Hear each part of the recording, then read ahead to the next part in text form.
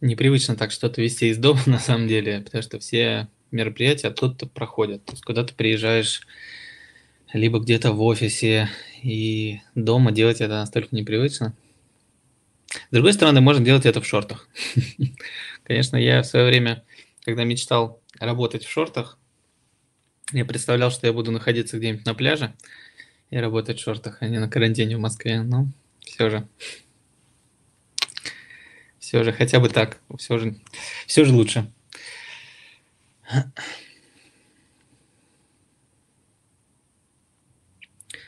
С другой стороны, хоть и непривычно, зато интересно. Но вот, э, наверное, это по всем ударило, понятное дело. Но, с другой стороны, вот сейчас очень хорошо можно понять, э, у кого как будут дальше эти дела. Кто сейчас э, смело это все преодолеет, кто, соответственно, будет паниковать.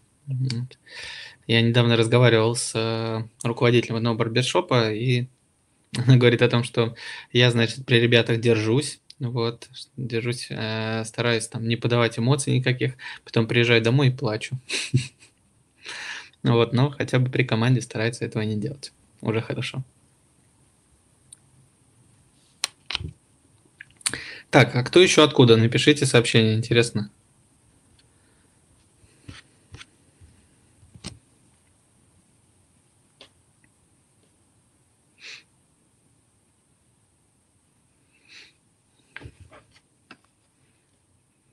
Ой, Украина, класс. Я очень хочу попасть в Одессу. Не знаю, когда мне это получится. Говорят, там очень красиво.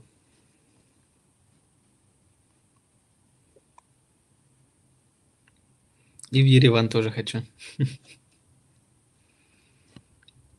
Мне сейчас друзья прислали новость, что в Уэльсе горные козлы захватили пустые улицы города.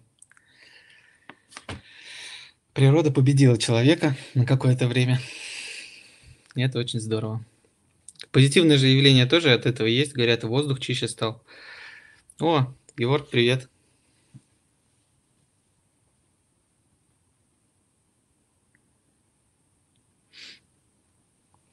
Так, я думаю, что мы, наверное, немножко подождем, да, пока соберется народ. И где-нибудь там через 3-5 минут начнем. Пишите, у кого как дела, интересно, кто как время на карантине проводит. Я книги, кстати, читаю. У меня где-то Всем известная, наверное, сейчас супер актуальная книга. Так, где камера? Вот. Вот, купил, соответственно, себе читать. О, Сева, привет.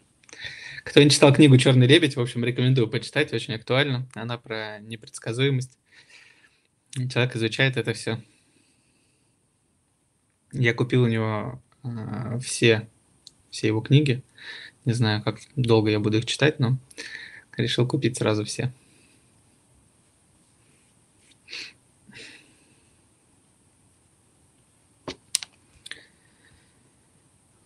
Знакомые имена, классно. Эдуард, привет.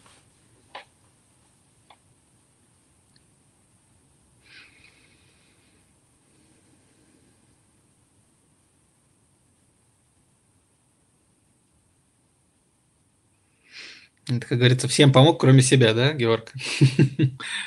Ну, я думаю, что можно с ним еще пободаться тоже.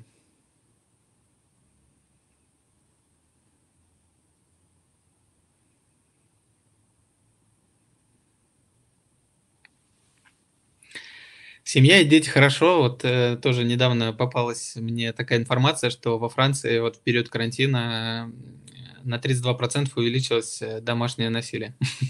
люди не могут очень долго находиться друг с другом, поэтому...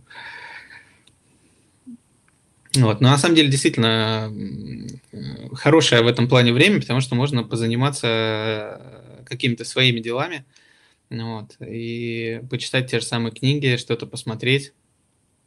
Может быть, есть какие-то сериалы, которые давно не смотрели. Главное э, правильно к этому ко всему относиться. Это все равно в какой-то момент закончится, и именно так, наверное, надо это воспринимать. Потому что и это тоже пройдет. У евреев есть одна э, такая умная мысль, наверное, нельзя назвать поговоркой. Э, они говорят, э, спасибо Боже, что забрал э, деньгами. Вот, поэтому дай бог, чтобы мы все были здоровыми, это главное, а все остальное, соответственно, я думаю, что наверстаем. Да, Wipelines отдельное спасибо. Погрузился немного в эту тему, подумал, а, чем мы можем быть полезными для, своими, для своих сотрудников. То, что такой тоже момент.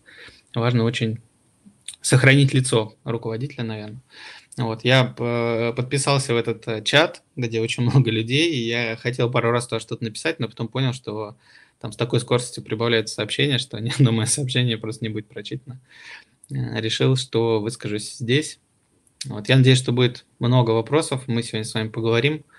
Вот, у меня есть там, мысли относительно клиентов еще, что мы можем сделать. Вот, я надеюсь, что и тему клиентов сегодня все-таки мы затронем, пусть и не совсем об этом сегодня будет вебинар. Вот, но все равно хочется поговорить обо всем с вами, когда еще мы сможем вот так вот собраться и пообщаться, хотя бы онлайн.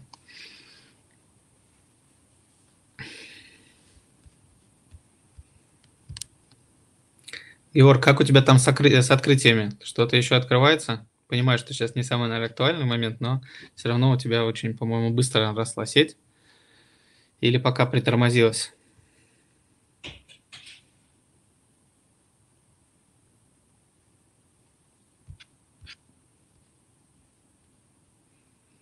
Видео вроде бы есть. Э, поставьте там плюсики, если есть, минус, если не видите. Сейчас будем разбираться, но вроде я себя вижу, во всяком случае. Ну вот.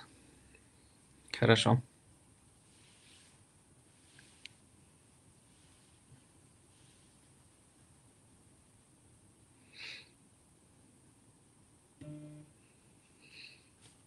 Я на самом деле очень позитивно пережидаю карантин. У меня есть собака, кошка. Кошка бегает от собаки по дому. Спасибо, Будиан. Классная очень, мне нравится. Вот, и я, и я, соответственно, целыми днями занимаюсь тем, что раз, разнимаю их. Вот, и собака – отличный способ выйти на улицу немножко. Я, я не думал, что я буду так рад прогулкам с собакой. Вот, и теперь прям в удовольствие я выхожу и какое-то время провожу на улице, дышу воздухом, никого нет, классно. Вот, снег только вот сейчас смущает немножко. Ну, ничего.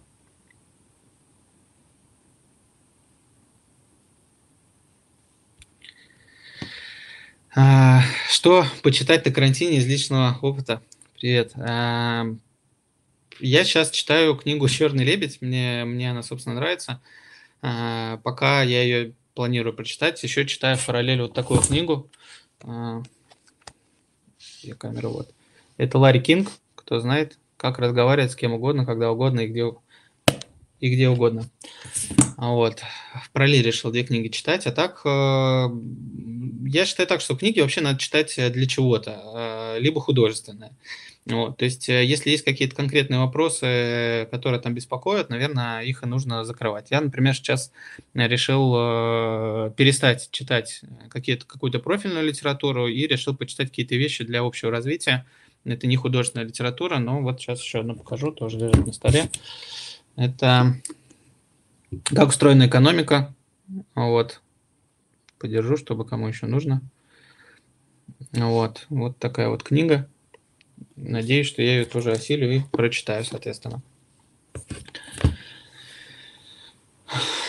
Должен был летать э, в пятницу в Владивосток, и мне в субботу должен был летать в Владивосток, и мне прям э, в пятницу отменяется эта поездка. Я надеялся, что я в полете что-нибудь прям прочитаю, но, но нет. Все равно как-то день за днем пролетает достаточно быстро.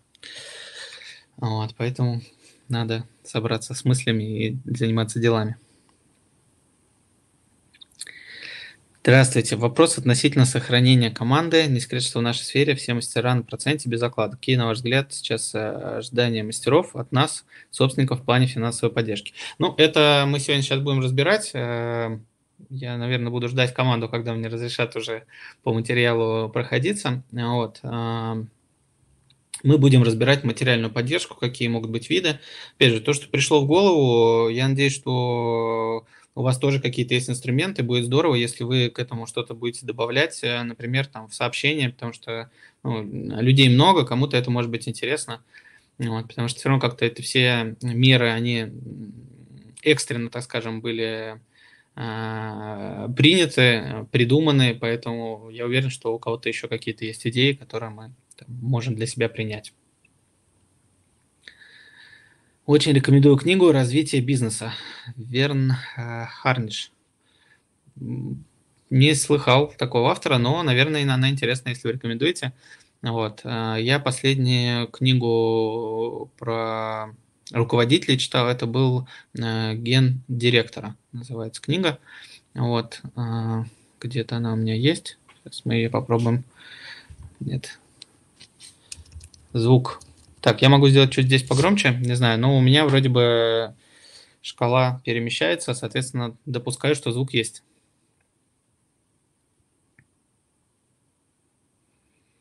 Классно. Коля, привет.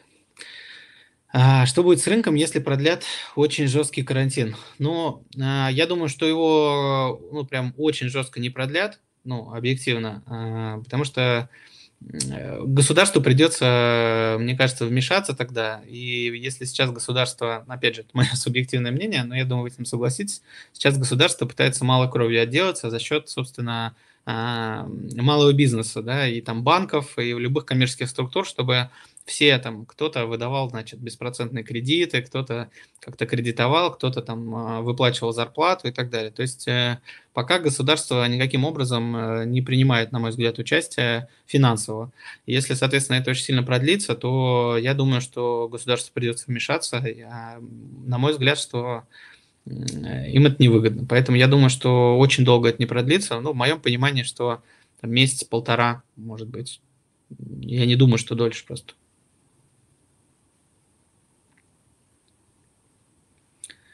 А, у Яндекса есть э, сервис, э, там они э, измеряют самоизоляцию людей вот, в разных городах. Вот, и Москва более-менее самоизолировалась, хотя тоже там индекс что-то около там, 3,8, то есть из 5. Ну вот. При этом некоторые районы, там, по-моему, видно, если не ошибаюсь, еще какие-то химки, то есть там ниже показатель, то есть ниже трех даже. То есть люди все равно находятся на улице, к сожалению, и ну, не заботиться о том, чтобы это поскорее закончилось. Вот и все. Вообще, в моем понимании, что это все халатность э, наших руководителей страны и там, других стран. Потому что если бы в январе бы это все дело сразу бы вот так вот закрыли всем, въезд и выезд, и людей посадили бы там на две недели на карантин, то я думаю, что просто это даже ну, не распространялось, и достаточно быстро удалось бы с этим справиться. Ну вот. Потому что Китай, в принципе, уже, вот я сегодня видел фотографии, там где-то в Эсквайр, что ли, что люди уже вполне нормально живут, э, да, ходят в масках, но китайцы всегда ходят вот, э, в масках, поэтому уже там так. Ну что, э, да, я согласен, что надо постепенно начинать. Всем еще раз добрый день, меня зовут Максим Спивак, я являюсь тренером преподавателем по сервису продажам и управлению персоналом. А, сегодня я подготовил небольшую презентацию а, на тему, как не потерять сотрудников в период э, карантина. Вот, разберем с вами некоторые э, инструменты, которые должны нам помочь, и ну, приведу на какие-то примеры, которые а, уже успешно реализованы. Я там общаюсь с разными руководителями и в каких-то даже сам помогаю. Вот, в общем, будем вырабатывать общий, общую какую-то стратегию в этом во всем. Первое, с чего я здесь хочу начать, это вот с такого утверждения, которое важно очень понять, о том, что карантин э, это не отпуск. Вот. И общаясь, опять же, с разными руководителями, я заметил такую проблему, что э, руководители боятся каким-то образом воздействовать на своих сотрудников, да, потому что ну, кто-то там платить не может, еще что-то, и стараются отгородить всячески от какой-то занятости людей – вот, а, отпускают их, и они занимаются э, каждый, собственно, что придумал. И это очень большая ошибка, на мой взгляд, потому что а, самые большие проблемы у нас бывают от безделия. ну, на мой взгляд, когда мы ничем не заняты. И если, опять же, человек должен находиться в каком-то ограниченном пространстве, там, не знаю, в квартире у себя, то ему становится тяжело. Если он не может сам себя занять, он не может придумать, как э, развиваться в этот период, соответственно, это все приводит к тому, что он начинает деградировать, он теряет, теряет тонус всяческий, это знаем по себе, сталкивался с такой самой личной проблемой, когда долго, долго не работал. И, в моем понимании, долго, там, три недели. И я уже, я понимаю, что я потерял тонус, мне нужно его набирать. То есть задача сделать таким образом, чтобы люди этот тонус во время этого перерыва, назовем вот так, не теряли и могли а, чем-то полезным общественно заниматься, как и для а, клиентов, так и, собственно, для, для нас, для построения и укрепления э, команды. Это, это очень важно, поэтому такая вот мысль, э, давайте ее для себя как-то зафиксируем, примем о том, что карантин – это не отпуск, это просто удаленная работа. Даже в нашем э, бизнесе, в нашей сфере все равно можно удаленно работать. Будем, соответственно, сейчас разбираться, каким образом. А, что мы, соответственно, разберем? Какие виды поддержки? Мы поговорим про материальную поддержку, а, что мы, соответственно, можем делать э, с позиции денег для сотрудников, нематериальную поддержку и разберем, как нам организовать самообучение персонала. То есть э, высокий уровень самомотивации э, – это плюс. Если есть такие сотрудники, которые могут э, самостоятельно организовать свой досуг, это здорово. Но там, не будем питать иллюзий, я думаю, что большинство все-таки не могут это сделать, и они в этой ситуации рассчитывают именно на вас, то, что вы сможете им в этом вопросе помочь. Вот. Поэтому давайте, собственно, это все и будем разбирать. Материальная поддержка – какие у нас могут быть виды материальной поддержки? То есть э, первое – это выплата зарплаты. Вот. То есть я знаю, что многие руководители, а, многие руководители заплатили, ну, наконец там периода, то есть э, последний там день, по-моему, рабочий был 27 и вот по 27 число рассчитали и отправили в отпуск. Это хорошо. Я знаю, что некоторые и этого не смогли сделать, вот, по разным причинам, но а, давайте еще вот с какой стороны на этот момент посмотрим. О том, что мы заплатили за какой-то прошедший период, но у нас большинство сотрудников действительно а, работают на процентах. Да, и период, когда они не работают, по сути, они ничего не получают. То есть, когда они выйдут э, обратно на работу, э, их какие-то обязательства остаются, а денег у них нет. Вот, то есть э, вот здесь эм, я за то, чтобы определить какую-то минимальную оплату для своих сотрудников. Я не просто так написал в скобках за что-то, потому что это может быть основание того, что вы их, э, что, соответственно, вы с них требуете выполнения э, того, о чем мы дальше с вами будем говорить. Потому что если вы им, условно, ничего не платите, вы не можете у них ничего просить. Да? То есть э, здесь есть определенные вот эти взаимоотношения материальные, и э, для того, чтобы мы могли требовать э, саморазвития, самообразования и так далее, важно, чтобы мы их как-то материально поддерживали. Я не говорю, что это должно быть много, да, там, может быть какая-то минимальная прям абсолютно сумма, но тем самым вы, я считаю, можете показать своим сотрудникам а, свое небезразличие к ситуации. Потому что ну, очень часто у, у сотрудников есть э, такое наверное, заблуждение на тему того, что, кто такой руководитель. Да? Что это человек, у которого три мешка денег, на котором он сидит, и еще в шкафу. Вот, все, что в мешке не поместилось, и вот все, собственно, в деньгах. А сотрудники – это люди, которые эти деньги, собственно, генерируют, создают, а, и еще ничего не получают, а руководитель жадный и не хочет делиться. Поэтому я за то, чтобы ну, в этот период э, мы были максимально открыты и прозрачные для своих сотрудников. То есть э, вполне можно вполне можно объяснить свою ситуацию, поделиться какими-то новостями со своей стороны э, и определить какую-то сумму. То есть вот какая сумма может быть? Если мы говорим там про Москву, ну хотя бы там, я не знаю, там тысячу рублей в день я не знаю, это, этого, на мой взгляд, там достаточно будет для того, чтобы просто показать свою э, заинтересованность э, в этих людях и показать свое небезразличие к ситуации. Пусть, пусть какая-то будет. Ну, то есть определить, опять же, э, из своих возможностей. Я уверен, что уже многие за это время успели просчитать э, свои деньги, свои, там, насколько вам их хватит э, в условиях этого карантина и такой ситуации. Вот. Это не, не обязательно большая сумма денег, еще раз повторюсь. То есть это выплата за что-то. Вот здесь э, какие могут быть варианты? Как вариант, мы можем администраторов загрузить на период э, карантина работы. Работы просто очень много с клиентами. Да? Вот возвращаясь к теме клиентов, э, что можно делать в этот период? Организуйте грамотное общение с клиентами.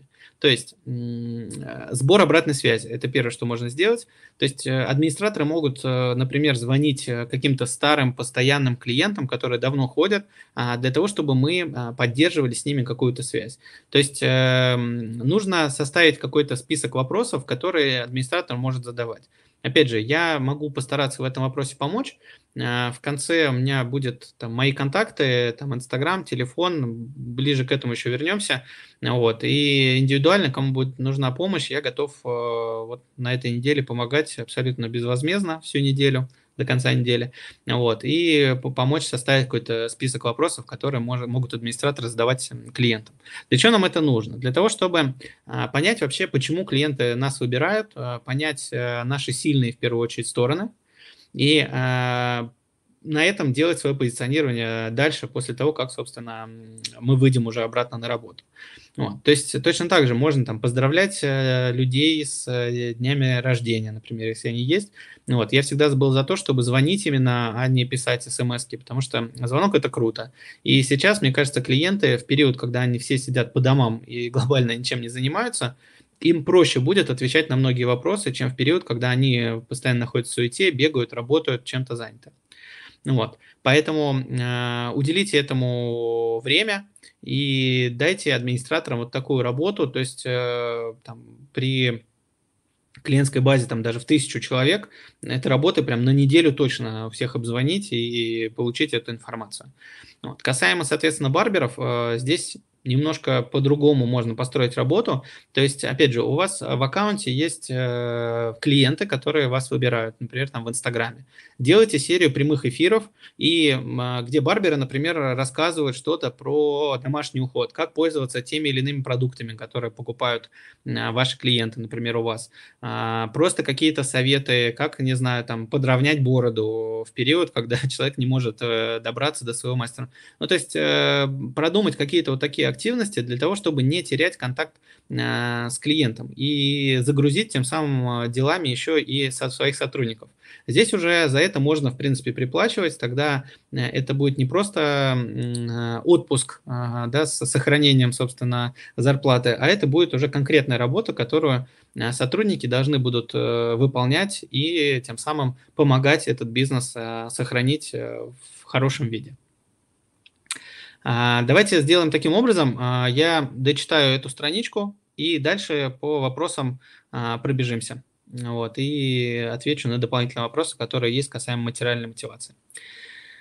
Далее, это индивидуальный разбор финансовых обязательств. То есть здесь, опять же, у сотрудников есть какие-то обязательства, это могут быть кредиты, это могут быть, э, не знаю, помощь кому-то требуется оказывать, там, не знаю, родственники, родители, всякое возможно.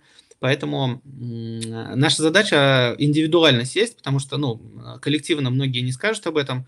Э, сядьте, созвонитесь и задайте честно вопросы, какие есть обязательства, и подумайте, где вы и чем сможете помочь.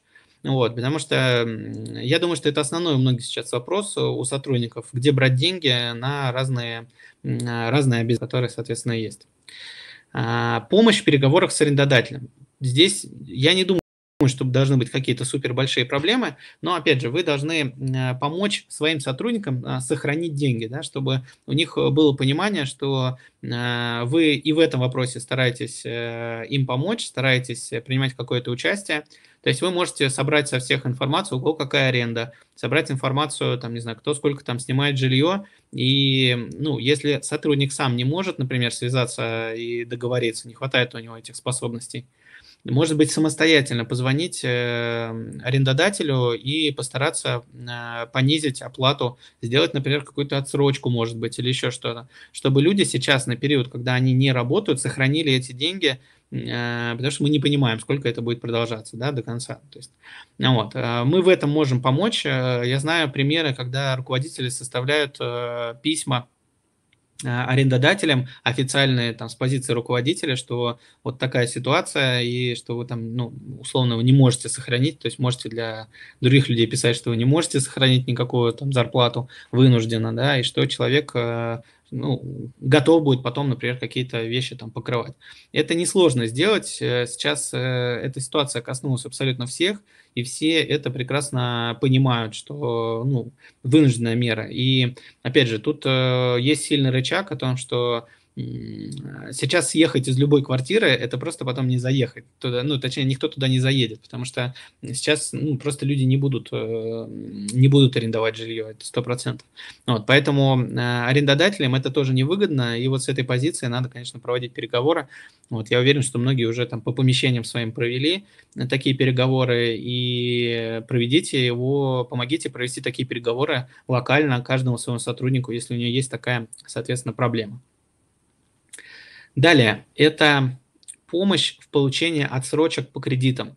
А, я почитал интернет, уверен, что многие тоже уже это сделали. А, многие банки уже начали это делать. То есть, э, опять же, как вы можете помочь? То есть, э, если сотрудник там не заболел э, коронавирусом и у него от этого там нет никаких проблем, вот, э, вы можете помочь письмом, опять же, официальным, что вы не можете платить этому сотруднику а, зарплату на период э, там, карантина, предположим, и а, там, для того, чтобы ему дали эту отсрочку. То есть э, я видел, что по-моему, Сбербанк там вообще чуть ли не до 12 месяцев готов давать эту отсрочку. Вот. Поэтому уделите этому тоже э, время и проработайте с каждым своим сотрудником вот такие вот э, финансовые обязательства, которые есть, и посмотрите, как вы можете э, в этом вопросе помочь. А, вот я вижу, что проблемы пишут, да, с видео, с аудио. Есть ли проблемы? Если нет, поставьте, пожалуйста, плюс кто-нибудь, чтобы я понимал, что все окей. Что у меня вроде все нормально. Угу.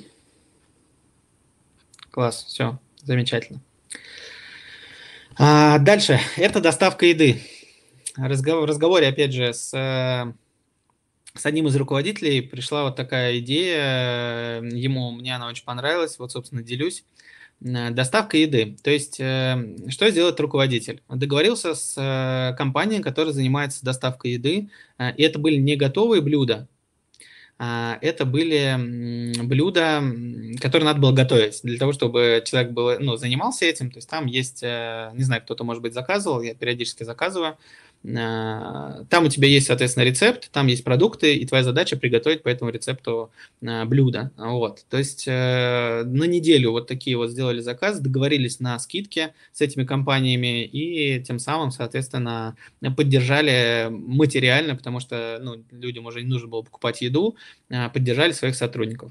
Опять же, можно сделать это в формате игры, например, это можно разыграть, если как бы накладно для всех это делать, можно это разыграть, устроить какой-то конкурс среди своих сотрудников и, предположим, э, победителю недели вот такого питания, пожалуйста, почему бы и нет.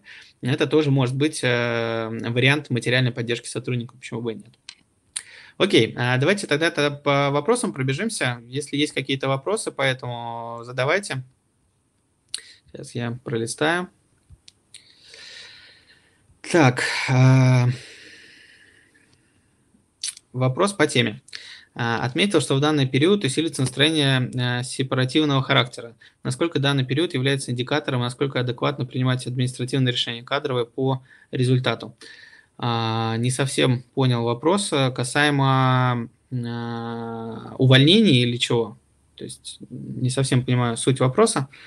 Вот. В моем понимании увольнять надо только в ситуации, где вы э, планируете затяжной какой-то кризис. Ну, тут вы просто ничего не можете с этим сделать. У меня знакомые живут э, в Европе, и э, один работает в компании EasyJet и говорит о том, что вот в южной части Европы расформировали просто EasyJet, уволили все, весь свой штат, потому что они планируют, что до конца года как бы им там это просто будет не нужно. Вот. Поэтому надо отталкиваться от того, какие вы там сами делайте прогнозы. Я не думаю, опять же, повторюсь, мое мнение, что это продлится очень долго. Вот, и я считаю, что лучше сохранить команду, потому что набирать ее тяжело, да, и тут надо еще прийти к тому, чтобы люди были сплочены и эффективно работали. Вот. Можно просто потерять большой временной ресурс на этом всем.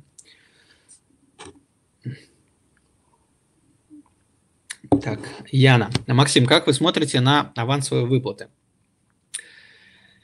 А, я не очень хорошо на это смотрю в этой ситуации, потому что я хочу, а, я хочу, чтобы люди зарабатывали эти деньги. То есть, когда человек а, получил аванс, к чему это приводит? Он начинает жить в долг, потому что он сейчас не работал, вы заплатили ему, соответственно, этот аванс, он эти деньги что, идет тратить, потому что, ну, вряд ли все такие прям супер запасливые и отложили эти деньги, потому что понимают, что дальше этих денег не будет. Нет. То есть мы приводим к ситуации, где э, человек начинает работать в долг. Э, мы мы ему заплатили, он потом вышел, отрабатывал, ничего не получил, у него опять нет денег, нам опять его надо э, кредитовать, помогать ему, давать эти авансы. Поэтому э, сделайте так, чтобы люди просто зарабатывали эти деньги вот здесь и сейчас. Можете назвать минимальную сумму интуитивно для вас, достаточно, например, для Москвы и Санкт-Петербурга. Ну, я уже сказал, то есть э, я думаю, что это там может быть сумма там в пределах, не знаю, тысячи рублей. Вот, э, за день там работы какой-то, которую вы делаете, то есть либо определите, что там, не знаю, там какую-то конкретную сумму за неделю, например, тоже можно сделать, там, не знаю, 5000 рублей там за неделю. Вот. То есть э, определите какую-то сумму, которую вы можете себе позволить. Это не должно быть очень много, чтобы это не расслабляло, и это не должно быть там, условно, там 300 рублей, да, чтобы человек там пошел, купил пачку гречки себе на эти деньги. Вот. Я думаю, что в пределах вот там, этой суммы этого будет достаточно для того, чтобы люди могли жить спокойно. Так, а, давайте движемся дальше. А если сотрудник новый и не оформлен, но у него есть кредит? А, я, честно говоря, думаю, что банки глобально не будут проверять, оформлен он или не оформлен. А вот. И я думаю, что не стоит из-за этого переживать. То есть делайте точно так же э, там, письмо. Вот. Сотрудник может быть там на испытательном сроке или еще что-то. Вот. То есть его э, всегда при желании можно и быстро оформить. То есть это тоже делается за один день на самом деле. Вот. Поэтому если вы можете таким образом ему помочь, ну постарайтесь помочь. Если он для вас важен, почему бы и нет. Даже если сотрудник новый, я уверен, он это оценит. Ваше участие в этой ситуации. А, если команда разбежалась, где потом искать, искать команду? Уже если разбежалась, я так понимаю. Вот. Э, ну, я думаю, что, во-первых, не стоит из-за этого переживать, потому что та команда, которая при первых же проблемах разбежалась, ну, как бы туда и дорога. Вот. Надо понять э, загрузку. Я думаю, что здесь могут помочь и там, опять же, через Инстаграм, ну, как, как обычно, там, мы ищем э, людей. То есть это могут быть академии, это могут быть, э, там, не знаю, различные там, салон красоты или там, барбершопы другие, я тоже допускаю, как бы надо трезво на вещи смотреть. Это может быть Инстаграм, это может быть, опять же, помощь кого-то из друзей. Вот, у меня очень большое количество друзей работают в разных сетях, и я периодически там, когда ко мне кто-то обращается, я направляю точно так же мастеров куда-то в другие проекты. Вот, поэтому вот ну, так и искать, а что делать? Ну, как бы не закрываться же теперь. А, так как многие руководители остались без дохода и не готовились к подобной ситуации, как можно минимизировать расходы? А, ну, я считаю, что надо минимизировать расходы э, там, где точно это можно сделать. То есть, э, ну, первое, первое это аренда – договариваться, соответственно, на... Ну, в идеале договориться, чтобы сейчас вообще ее не платить. И я знаю, что примеры успешные, когда э, когда, соответственно, это срабатывало. Ну, вот. А, у нас, кроме того, что доходы сократились, у нас в любом случае расходы определенно сократились, а операционные, которые мы постоянно несем, мы тоже теперь их не несем, вот, они уже сократились. Ну, вот. То есть я считаю, что надо сохранить э, расходы только на там, команду какие-то есть. То есть мы можем а, потратить сейчас деньги на, а, может быть, онлайн-курсы какие-то. То есть можно завести одну учетку, и с этой учетки все могут это смотреть. Почему бы и нет? Вот. То есть э, я знаю, что сейчас очень многие компании делают много очень бесплатных, а, бесплатных программ. Так, Виктория, можно вопрос не совсем по теме? Можно. Не про моих домашних животных, я надеюсь. А, по моим прогнозам, когда барбершопы начнут работать в сложившейся ситуации? Ну, э, по моим прогнозам, не раньше мая. Вот я думаю, что до конца мая, ой, до конца апреля это точно э, продержится. Вот. Э, может быть, больше. Я, ну, опять же, там, по своим каким-то ощущениям, я закладываю где-то месяца полтора вот, на то, чтобы мы э, пришли в себя. Опять же, все зависит от того, как, какие меры будет принимать государство. В моем понимании, они очень такие полумеры, и мне кажется, что надо более жестко вводить карантины во всех регионах, и чтобы не было там а, перемещения людей там между городами, как это произошло, вот, э, тогда это кончится быстрее. Посмотрим, как будет вести себя государство. Ну, вот в текущей ситуации, я думаю, что месяца полтора примерно. Какая может быть антикризисная программа после карантина? Стоит ли временно понижать цены на услуги? Вот сегодня уже отвечал на этот вопрос. А, я считаю, что не стоит, и это заблуждение, что нам это нужно, потому что люди как стриглись, так и будут стричься. Я уверен, что сейчас это очень больно коснулось, в первую очередь, э, предпринимателей, потому что все позакрывалось. Многие сотрудники у меня, ну вот, кроме последней недели, этой. А, у меня очень большое количество друзей работают удаленно. Даже сейчас, а, все равно даже на этой неделе я знаю, что подсовывают какие-то проекты, и люди работают удаленно абсолютно спокойно, выполняют э, работу. И им за это платят. И много где сохраняют э, точно так же зарплату. Ну, вот, поэтому я не думаю, что это прям супер сильно скажется на клиентах, что нужно будет прям понижать цену. Потому что, опять же, должна быть какая-то обоснованность цены. То есть, если мы можем вот так вот э, сегодня понизили, завтра повысили, потом опять понизили, то есть, ну, как-то складывается ощущение, что эта цена из воздуха просто взята, и мы ей вот так вот можем играться. Вот. Я считаю, что а, куда более правильно это не сделать скидку в 100 рублей, потому что я уверен, что для большинства клиентов, которые, опять же, выбирают, в том числе и твои барбершопы, 100 рублей – это не те деньги, которые они будут на этом экономить. Плюсом обратите внимание на такой еще позитивный момент. Э, в последние дни, когда уже объявили карантин, э, во многих барбершопах, как в декабре, блин, в конце декабря было, полная, полная посадка. Вот я э, там сегодня общался с Казахстаном, и у них тоже, говорят, мы последние дни отработали просто от и до, все было расписано. И давайте просто подумаем, да, первая ли это необходимость для людей была подстричься, при условии, что они в ближайшее время будут сидеть дома и никуда не будут выходить. Но они все равно это сделали. Соответственно, они не постарались на этом сэкономить деньги. Я уверен, что когда они из этого карантина выйдут, они тоже на этом не будут экономить деньги и обязательно придут стричься. Организуйте просто грамотное общение со своими клиентами в период, пока вы не можете их обслуживать. Вот и все. Я думаю, что этого будет достаточно, чтобы сохранить. Покажите свою заинтересованность в том, чтобы они к вам ходили. И не надо будет давать никаких скидок. А. Теоретически это, конечно, очень хорошо, платить тысячу рублей в день, но если у тебя 40 сотрудников в трех салонах, то это в месяц э, более миллиона рублей. Еще раз, я а, взял из головы эту цифру абсолютно, да, сейчас, а, определитесь, какую поддержку вы можете организовать. Я уверен, что не всем, а, не всем, соответственно, эта поддержка прям финансовая будет нужна, но есть люди, которого нас супер будет необходимо, вот и все. Поэтому а, оттолкнитесь от этого и, опять же, ну, определите, какую вы можете платить. Может, вы можете тысячу рублей в неделю платить, но платите тысячу рублей в неделю, значит, ну что делать? Так.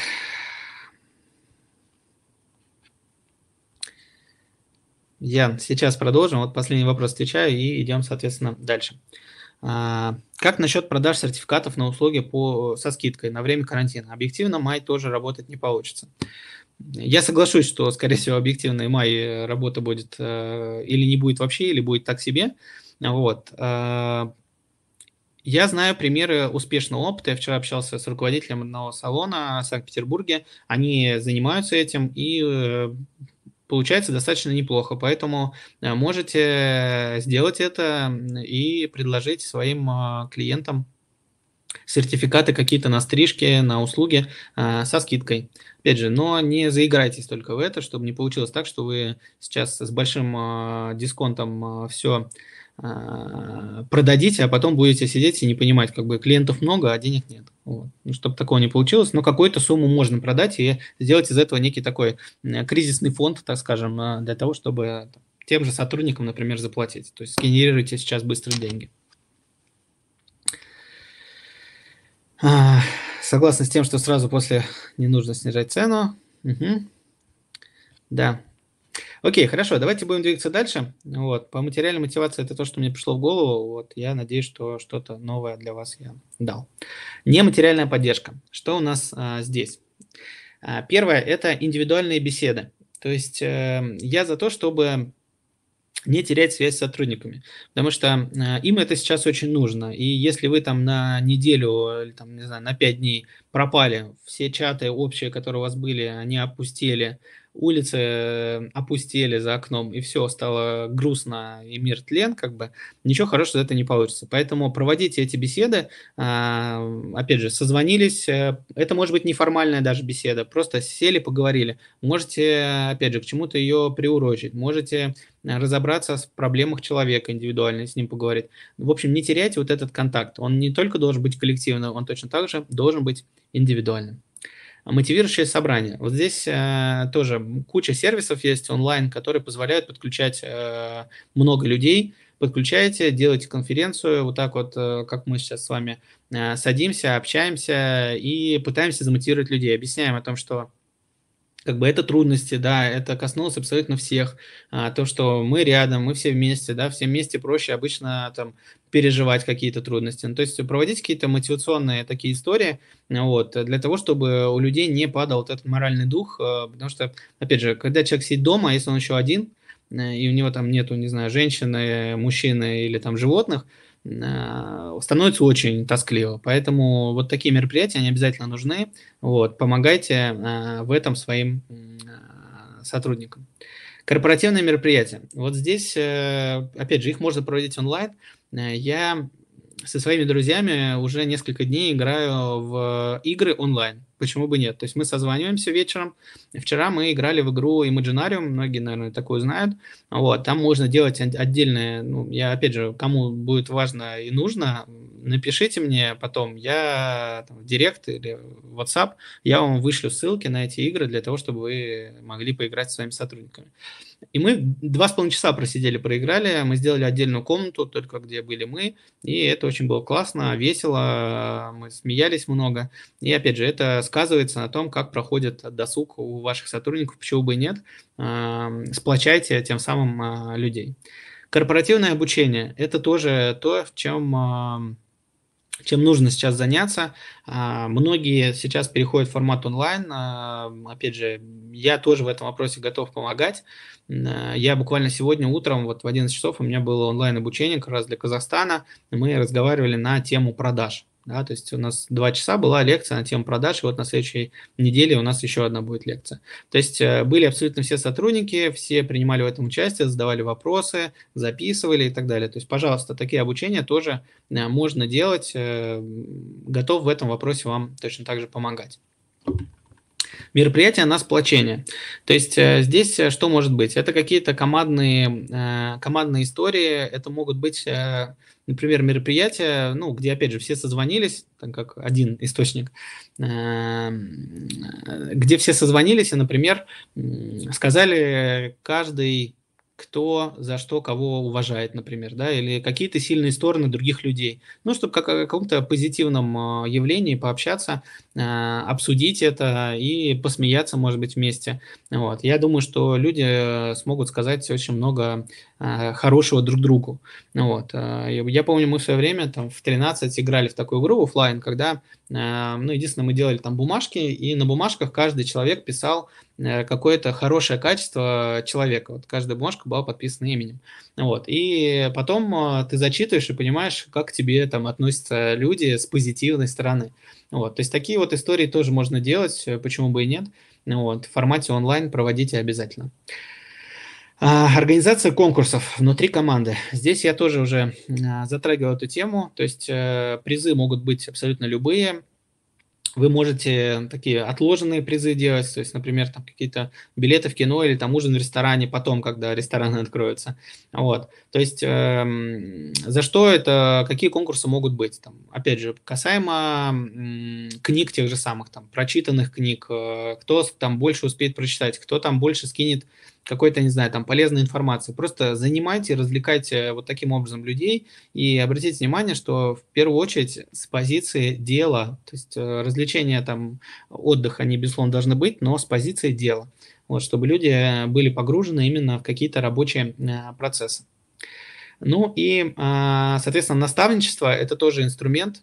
Э, я очень часто на своих курсах про это говорю – каждый руководитель должен быть наставником для своего сотрудника. И вот у меня такая позиция, и я считаю, что вы можете сейчас, вот в период, когда все остановилось, вы можете сесть с каждым и проработать план какой-то его развития дальнейшего, то есть что человек хочет. Потому что в процессе работы, вот в потоке вот в этом, мы очень часто не замечаем всего этого. То есть люди просто приходят на работу, работают, уходят э, с работы с этой, потом в какой-то момент увольняются, еще что-то.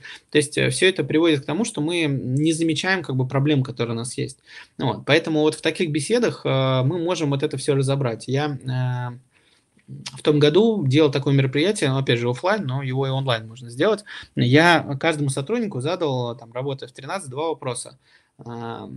Почему ты хочешь работать э, в 13 by Backstar? И второй вопрос был, э, какие у тебя профессиональные цели на этот год? Вот такие вот два вопроса были. Вот, соответственно, я потом с каждым индивидуально это все разобрал, мы пообщались, и выстроили некий план, а, что нужно делать. И вот недавно я дома разбирал документы, и я нашел, значит, бумагу, на которой я писал а, заметки касаемо вот того мероприятия. И к моему счастью, наверное, большинство из того, что там было написано, я знаю, что ребята уже сделали. Вот, это говорит о том, что это работает, да, поэтому постройте план, помогите своим сотрудникам быть лучше, а, задайте им вопросы, а что в работе им не хватает, что не получается, то есть э, какие-то их слабые стороны. То есть исходя из этого уже дальше будем выстраивать систему самообразования. Ну, вот такие инструменты. А, если у вас э, по ним какие-то вопросы, задавайте, давайте пробежимся. А, что скажешь по поводу тех товарищей, товарищей с большой буквы, которые а, продолжают работать на дому и стричь и выкладывать это в соцсети? Ну, я ничего не скажу. А, я вам так скажу, определите, Определите для себя вот это, что не каждый клиент ваш клиент, да, не каждый сотрудник ваш сотрудник.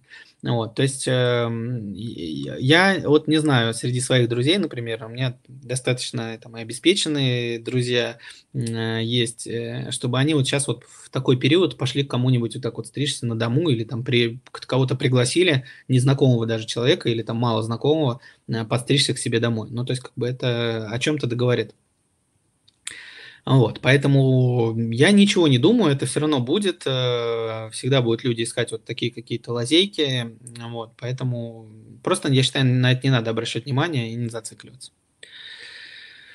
А, как помочь самообразованием администратора? А администратор чем отличается? Точно так же абсолютно у а, администратора есть определенный набор компетенций, которые вы хотите в этом человеке видеть. И ваша задача эти компетенции помогать ему развивать. Вот, поэтому э, здесь могут быть э, те же книги, э, здесь могут быть тот же определенный план. Я уверен, что среди ваших администраторов, например, есть э, амбициозные люди, которые хотели бы э, стать, ну, например, старшими администраторами или куда-то расти или еще что-то. Так обсудите с ними это. То есть э, обсудите программу, что им для этого нужно сделать, э, определите, опять же, какие-то обучения внутри администраторов, да, среди администраторов, то есть э, на знание стандартов тех же самых и так далее. Почему бы нет? Как бы работы абсолютно столько же. Так. А, такая должность, где нет большого роста. Это, как говорится, все зависит от нас абсолютно. Вот, э, там, в моей идеальной структуре работы салона или барбершопа э, у администратора всегда есть рост, это до старшего администратора, как минимум. Вот, то есть э, рост есть, это может быть и финансовый, в том числе рост, определиться какие-то, поменять, э, может быть, мотивацию сейчас администраторам и подумать, как они могут больше зарабатывать. Поймите, что хотят ваши сотрудники. То есть, если мы это игнорируем, то ну, просто приходим к тому, что эти сотрудники уходят. То есть, они либо э, с нами будут этих целей добиваться, либо без нас. Вот и все. И не так страшно, когда уходят сотрудники не очень квалифицированные. Да? Очень неприятно, когда уходят сильные сотрудники, в том числе администраторы. Вот. И я считаю, что администратор хороший, это его надо держать двумя руками, двумя ногами. Вот, а, потому что такой администратор все знает о своих клиентах, и клиенты всегда, всегда рады этому человеку. А, мастер может вырасти до топ преподавателя и повлиять на финансовый рост студии. А, любой сотрудник может э, повлиять на финансовый рост студии, и администратор в том числе. Вот. Это вопрос, опять же, мотивации э, самих администраторов, как она грамотно выстроена или не выстроена. Вот. И в моем понимании администратор – тот человек, который непосредственно влияет на выручку и может ее генерировать. Можем ли мы оказывать услуги с выездом? Приказ вышел, что можно. Клиенты все уже спрашивают, когда начнем. А, так, проведи э, опрос в соцсетях. Некоторые клиенты стали, э, стали высказывать э, недовольство. Ну, опять же, вот сегодня буквально разговаривал с руководителем. Ровно такой же мне задали вопрос о том, что что, что, собственно, с этим делать. Вот есть клиенты, которые хотят обслуживаться. Вот. Я считаю, что ничего не делать, надо это переждать, потому что мы, кроме того, что э, что-то со связью пишут, да? Раз, раз. Так, сейчас.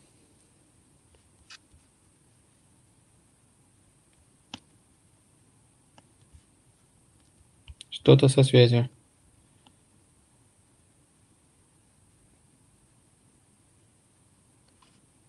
Вроде должно заработать.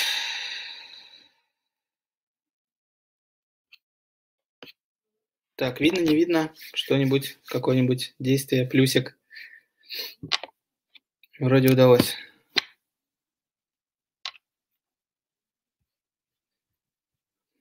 Ура! Извиняюсь, почему-то пропало окошко с видео, и я не смог, э, не смог обратно подключиться. Но проблема решена. Вроде бы отлично, все, ура. Это я уже занервничал. Так, э, вернусь быстренько к вопросам и перейдем к следующему. Э,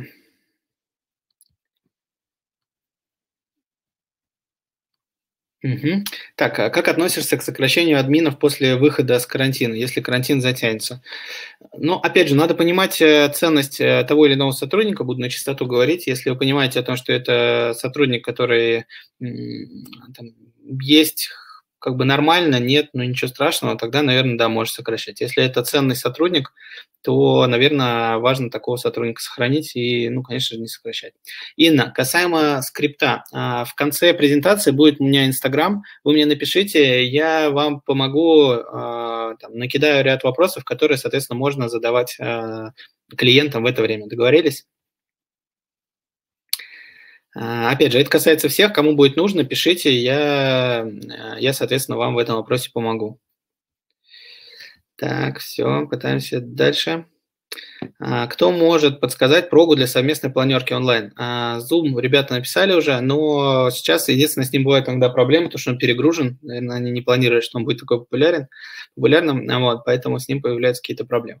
Окей, хорошо, давайте э, движемся тогда дальше и поговорим про а, самообучение сотрудников. Вот здесь э, важный момент – это самообучение организовать. Да? То есть мы не можем рассчитывать только на то, что сотрудник самостоятельно э, может э, понять, что ему нужно делать. То есть что здесь может быть? Первое – это профессиональное самообразование. Куча в интернете роликов есть, опять же, есть, например, там сайт Видалсасон, на котором есть Digital, это библиотека, и там видеоролика, как делать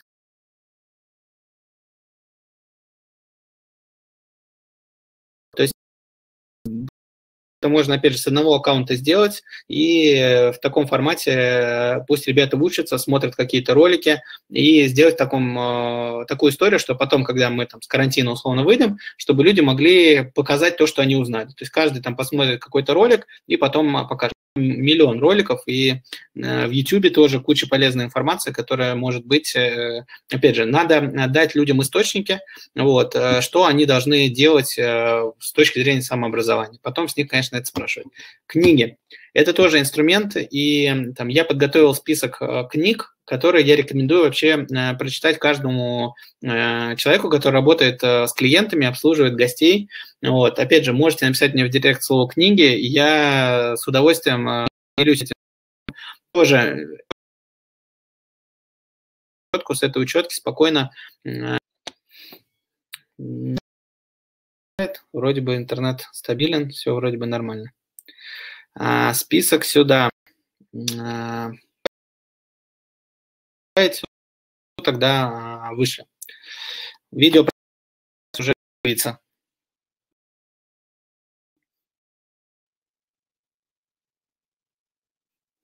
Так, сейчас должно уже появиться, посмотрите, видео вылетает. Угу.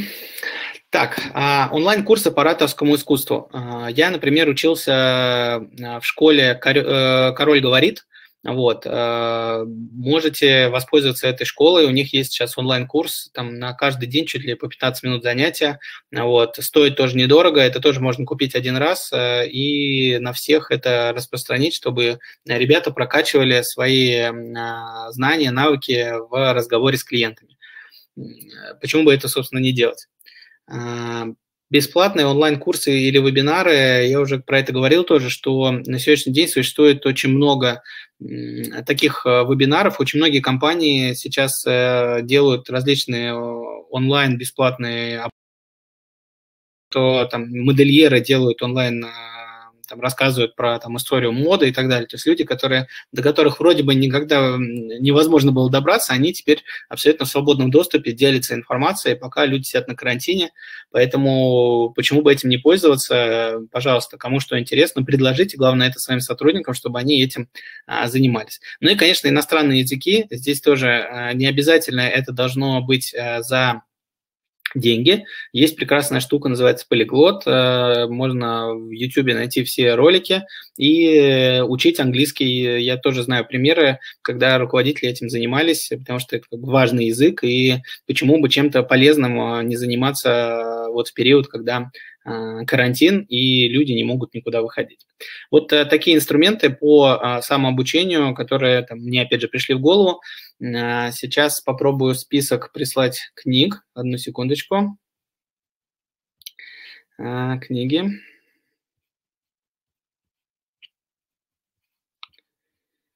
Так, ага. Ну вот, рекомендованный список книг. Вот в чат его а, он только не все пункты. Сейчас вот так сделаем. 7. И дошлю остальное.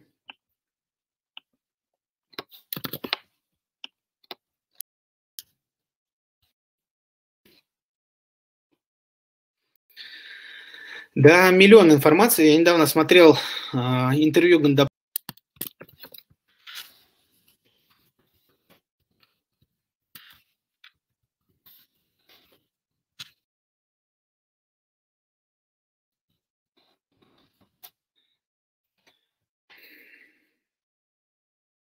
Так, все должно опять появиться. Не знаю, почему вылетает. Прошу прощения за трансляцию. Вот. А, это, собственно, та информация, которой мне хотелось э, с вами поделиться. А, э, говорил про то, что сейчас очень большое количество информации можно получать вообще бесплатно, онлайн, там, вплоть до лекций там, МГУ э, на любую абсолютно тему. Просто надо чуть поглубже покопаться в интернете, и все это можно сейчас найти вот, и обучаться абсолютно спокойно. То есть другой вопрос о том, что это требует высокий уровень самомотивации и самоорганизации. С этим уже есть ну, проблема, вот, но вы можете сейчас со своими сотрудниками это проработать, поделиться вот такой информацией с ними и помочь им период карантина пробыть не где-то в изоляции одному, а, собственно, вместе с вами. И я уверен, что при использовании там, многих из этих инструментов а, мы можем а, сохранить эту команду и прийти к тому, что этот карантин пройдет просто незаметно для них, и, а, собственно, будет все, все круто. Есть ли еще какие-то вопросы, я готов на них сейчас ответить. Вот. Собственно, информация по самому вебинару уже, наверное, закончилась. Э, подскажите по оплате э, мастерам, ежедневная или недельная? Как с вашей точки зрения эффективнее и по поводу чаевых, через админы или клиент благодарит мастера сам? Э, я считаю, что клиент должен благодарить мастера сам, вот, чтобы не было конфликтов между администраторами и мастерами, чьи это чаевые, потому что администраторам тоже могут оставить чаевые там, за классный кофе, за классную беседу, почему нет. Поэтому это, я считаю, должно делиться. Касаемо оплаты обычной, Э, в обычное время я считаю, что надо платить там два раза в месяц. Если мы говорим про текущую ситуацию, то, наверное, лучше там за неделю выплатить, чтобы это какая-то была существенная сумма денег. Говорят, что видео опять нет. А, может ли один управляющий справиться с четырьмя барбершопами? Или, э, по твоему, по твоему мнению, это неэффективно? Касаемо работы с тремя барбершопами. Я в свое время руководил э, пятью топ-ганами, у меня в подчинении было 70 человек, вот, и э, справляться можно, эффективно справляться крайне тяжело и крайне недолго можно справляться, вот, э, потому что ну, просто тяжело выполнять всю эту работу. Надо при такой загрузке, там, в 4 барбершопа, я считаю, что надо правильно распределить задачи. То есть э, в моем понимании управляющий – это человек, который работает с командой в первую очередь. То есть э, если сконцентрироваться исключительно на людях и, например, там э, вопросы, не знаю, инвентаризации, документооборота и так далее мы а, переносим на какого-то отдельного человека, чтобы это не занимать время, тогда, наверное, это можно делать. Если, соответственно, такой, такой возможности нет, то тогда надо а, менять немножко структуру работы. То есть, э, опять же, Вик, можем с тобой отдельно этот вопрос э, обсудить, потому что это, он уникален для тебя.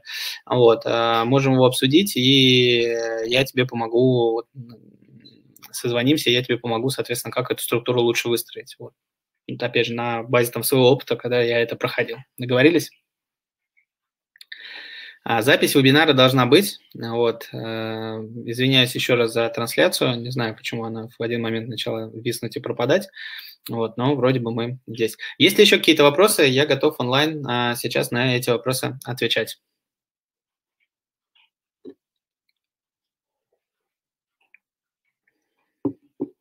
По оплате мастерам только процент или какая-то ставка? Опять же, если мы говорим про а, обычную жизнь, да, без кризисов и карантинов, а, тогда я думаю, что это просто процент.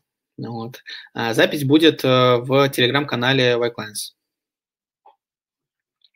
Мотивация у мастеров должна быть единая или индивидуальная? Какая мотивация? То есть, если мы говорим про финансовую какую-то материальную мотивацию, то ну, она в любом случае у каждого, наверное, индивидуальная. Но примерно есть определенный порог, наверное, то, что вы можете себе позволить. Касаемо скриптов, а, мне сюда их будет проблематично выслать. Э, Екатерина, напишите э, мне в Инстаграм, я пришлю вам просто эти вопросы, потому что мне их надо Э, составить еще, вот, и я в этом вопросе вам помогу.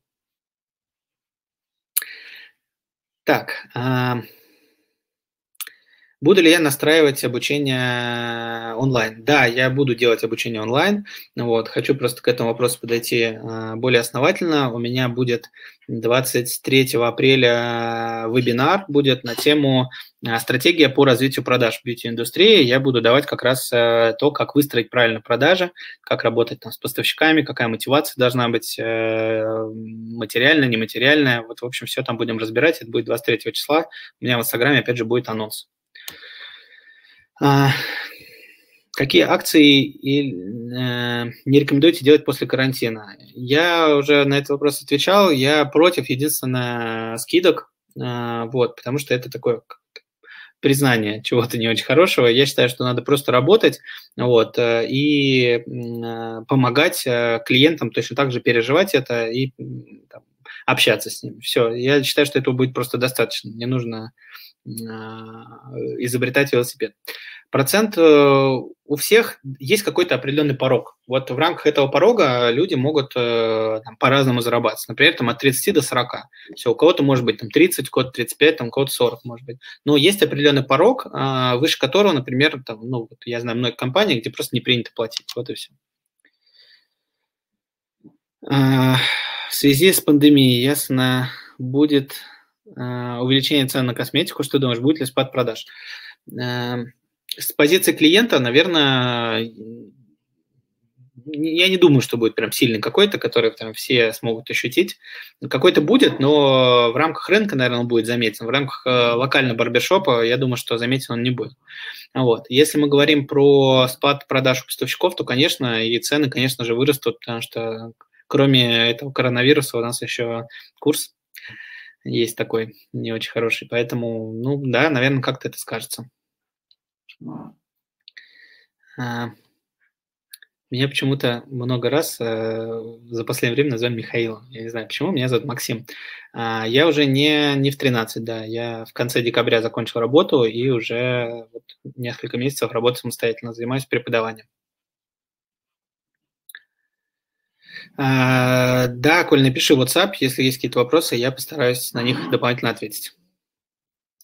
Вебинар окончен, да, мы разобрали ту тему, и я сейчас вот отвечаю на вопросы, которые есть э, у людей дополнительные. Вот я готов с вами пообщаться.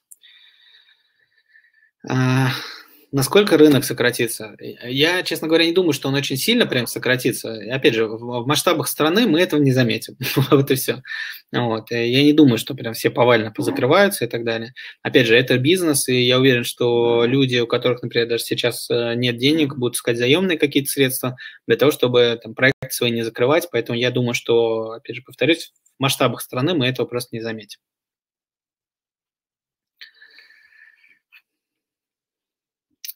А есть ли еще какие-то вопросы?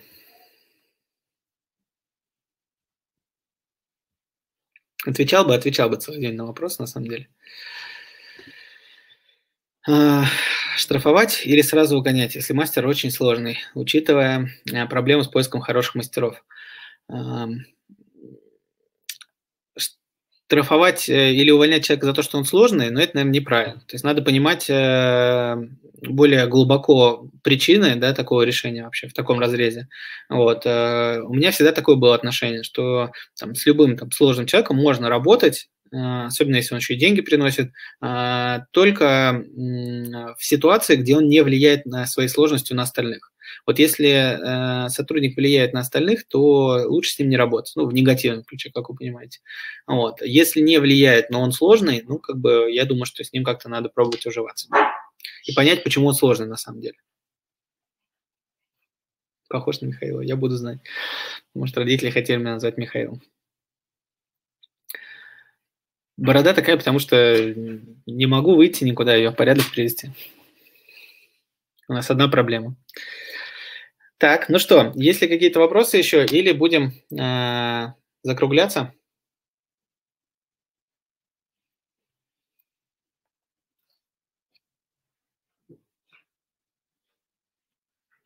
Мои контакты э, для связи указаны вот в презентации. Э, еще раз их сейчас э, продублирую сюда в чат.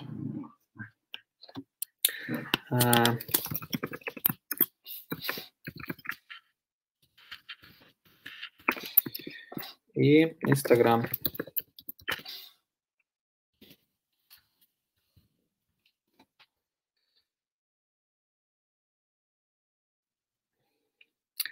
А, Наташ, я думаю, что я что-нибудь сделаю. Вот, надо делать какие-то прямые эфиры, будем, будем обязательно проводить. А, так, а, что делать с гастарбайтерами? Ну, что делать? Ну, опять же, такой вопрос. не все, наверное, без работы. А, Инна, давайте так, у вас, э, я понимаю, какие-то есть э, дополнительные еще вопросы. Вы мне напишите, давайте мы там индивидуально их с вами прям более детально разберем. Мария, у вас должна быть определенная структура. В общем, я всегда был за то, чтобы Э, не процентами вот так играться, а стоимостью услуг. Вот, поэтому э, в ситуации, где там, человек только приходит, ну, я всегда старался там какие-то 2-3 месяца платить меньше, если есть такая возможность, если понимаете, что может, можете так на него воздействовать. Если нет, значит нет. Вот, э, ну, опять же говорю, главное не заигрываться с процентами, потому что процентов всего 100, и они имеют свойство заканчиваться. Так, ну что, а, меня все немножко Яков, прям всем отвечаю. Вот, видите, уже давно закончили материал, а я сижу и отвечаю. Вот. А, поэтому пишите. Я еще раз повторюсь, всю неделю, до конца недели я бесплатно консультирую. Вот, по видео пишите мне в директ вопросы, которые у вас есть, мы можем с вами там созвониться и там в рамках одного часа пообщаться, и я отвечу индивидуально на ваши вопросы. Вот, э, аттракцион невидной щедрости длится до воскресенья включительно. Вот, поэтому кому нужна моя помощь, я всю неделю готов вот в период этого карантина помогать и, э, соответственно, поддерживать вас. Ну что, все, я рад был с вами со всеми про, пообщаться э, и э, будем, соответственно, полезным друг другу. Ну вот, если что, пишите, буду, буду вам помогать. Все, я рад был всех слышать, видеть, читать. Все, всем пока.